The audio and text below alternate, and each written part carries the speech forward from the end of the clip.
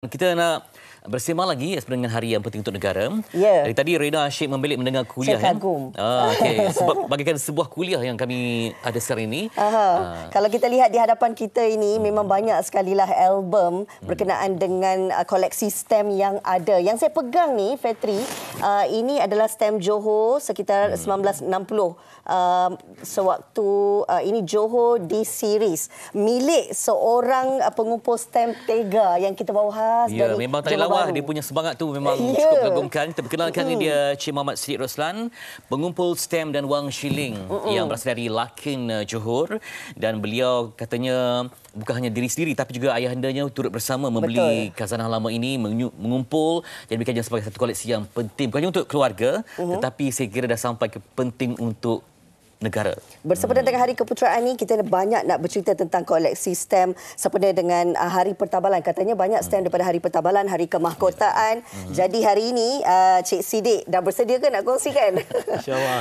Okey, okay. permulaannya bagaimana? Sebab seorang kan uh, benda-benda yang macam teliti ni dia tak minat sangat. Kadang si- simpan lah kan. Ya. Masuk kelab mengumpul stem di sekolah. Kemudian habis macam itu saja. Tapi anda konsisten. Okey, bagaimana boleh bermula dan bersambung legasi itu? Hmm. Okay, uh, Bismillahirrahmanirrahim. Uh, permulaan.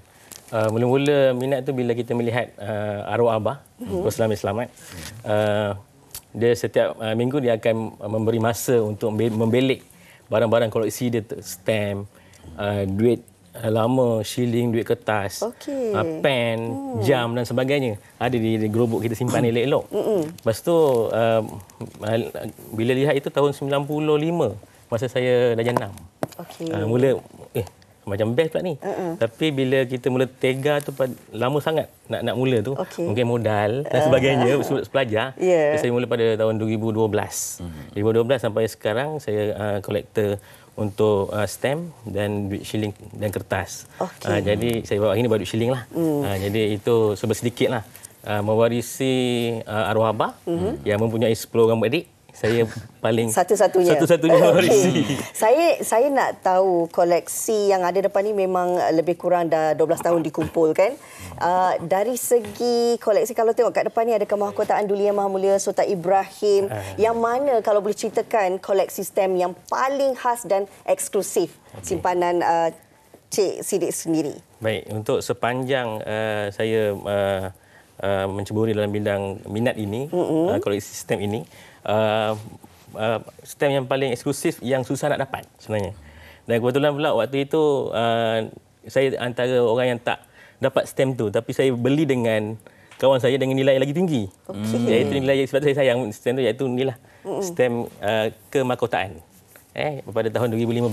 Ya. Eh bila dia, dia dimasyurkan uh, tuanku mm-hmm. sebagai Sultan Johor. Okey. Uh, dikeluarkan uh, stem ini peristiwa uh, tersebut dan saya dapatkanlah.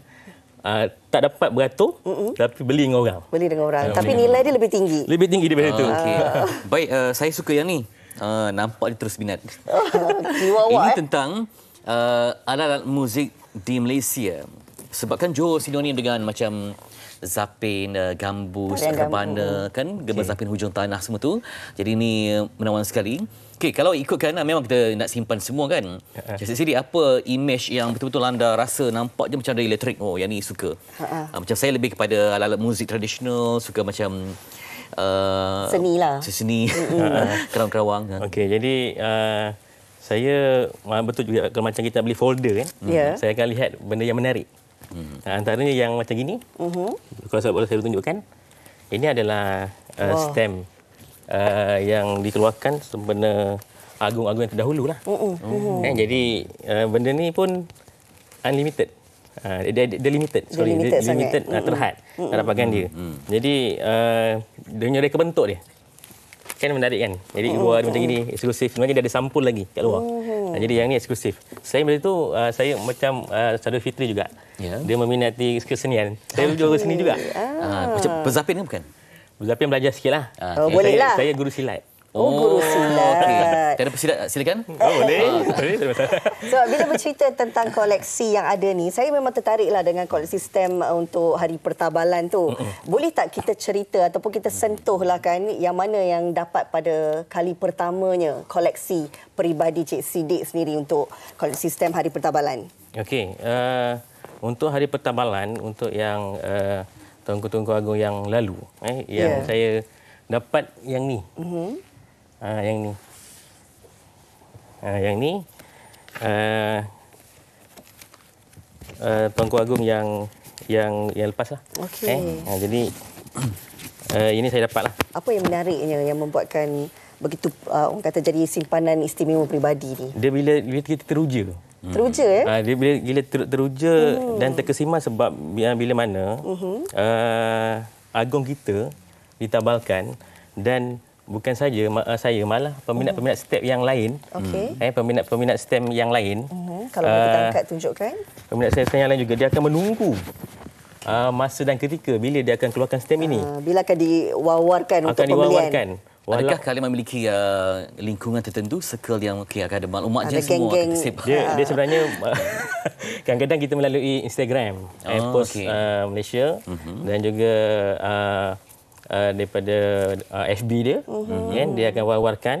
Uh, cuma nak dapatkan uh, senaskah macam ini bukan benda yang mudah lah. Okey. Saya terpaksa beratur sebenarnya.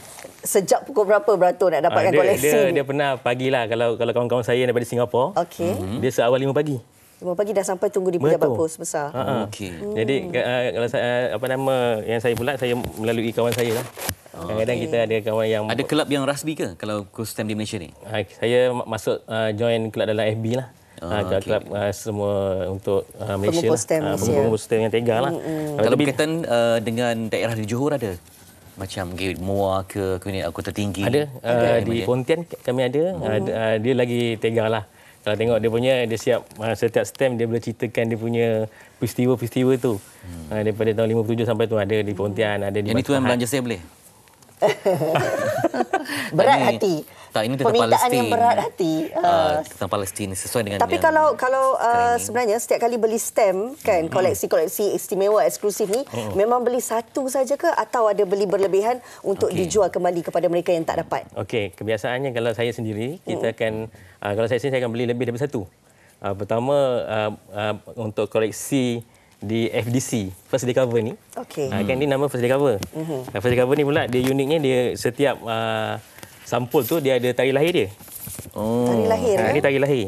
Ha, tarikh lahir dia bila dia keluarkan. Okey. Ha, jadi uh, ini yang menye- menyebabkan uh, kita uh, teruja untuk kumpul. Walaupun sebenarnya kita boleh order online dalam Soka kan tapi sebab saya memilih untuk uh, untuk secara untuk fizikal. dapatkan stem secara uh, direct Kepuasan. dan kepuasan tu kita bila chop sendiri tu kita rasa puas. Ah, kita rasa okey. puas dan kita rasa Wah, teruja nak dapat tu sampai kita kena beratur. Kadang jumpa kawan untuk uh, apa nama uh, ko- apa tukar barang dan sebagainya kan, uh, tukar kongsi hobi dan sebagainya. Ya, saya bayangkan di rumah memang tersimpan rapi ya. Uh, dijaga dengan sempurna. Uh, dia sebenarnya bila satu satu, satu lagi uh, penggemar atau peminat STEM ni uh, terapi sebenarnya. Terapi. Ini satu Ah, terapi satu lah, terapi eh. untuk kita mungkin uh, kita dengan tekanan uh, kerjaya dengan tekanan kerja sebagainya bila tengok STEM terapi dan juga uh, semangat ini dirong oleh senyum isteri lah uh, Tun Nurul Huda Luqman. Di terapi tu bila tengok apa sebenarnya? Bila tengok makin lama tahun tu ke ataupun macam mana? Okey, yang memberikan terapi- nilai dia sangat tinggi. Dia dia bila bila terapi ni bila kita uh, tak dapat tapi kita dapat. Uh, suatu benda tu kan hmm. kita dapat rasa bila dah dapat pula kita jaga baik-baik dan dia pun ada nak jaga dia bukan benda yang uh, uh, mudah lah kita perlukan alat ni Okey. Laser ada ya. uh, saya bawa Itu ni. penting. itu penting ini hadiah daripada kawan saya di Singapura Okey. uh, dia menghadiahkan jadi nak nak kepit dia pun kena Ada teknik lah. Ah, hati-hati. Hmm. Tak boleh masuk pakai tangan jari sebab dia guna selit kan. Jadi penjaganya sangat uh, rapi dan uh, agak rumit, Rumit. dan kita sayang kan.